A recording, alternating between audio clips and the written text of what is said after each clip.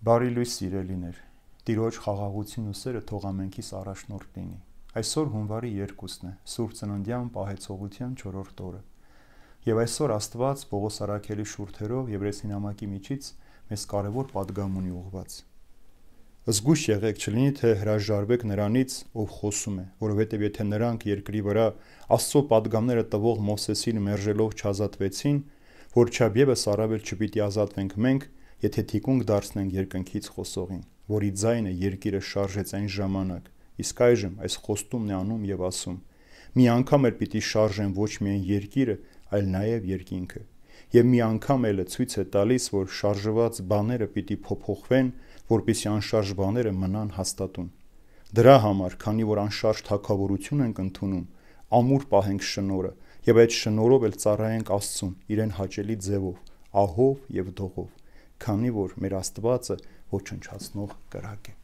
Ահա այսպիսի падգամ սիրելիներից, թե ինչպես մենք պիտի պատրաստվենք Տիրոջը դիմավորելու, որպիսի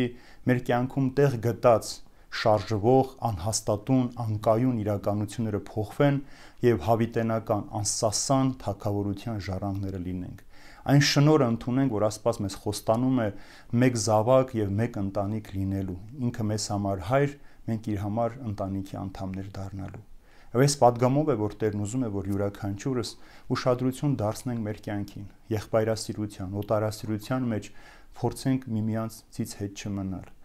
Հիշենք բանտարկված մարդկանց, գերության մեջ եղած մարդկանց, կարծես թե մենք էլ բանտարկված ու գերության մեջ ենք։ Չարչարված մարդկանց օգտակար լինենք։ Հերու մնանք փողասիրությունից, որ արմատն է բոլոր տեսակի չարությունից եւ երբեք չվախենանք ասելու, որ Տերը մեզ հետ է, մենք ումից ենք վախում կամ ինչը պիտի մեզ խաթարի այս հավատքից։ Ահա այսպիսի падգամով Տերը թող յուրաքանչյուրդ օրհնի, խաղաղության ու սիրո մեջ պահի, որpիսի երբ որ Տերը գա եւ Տիրոջ ավետիցը լսենք, ահավասիկ ասենք, մնում ենք Տիրոջ ուրախ, խոնար եւ զվարթերես զավակները։ Տերը պահապան բոլորիդ։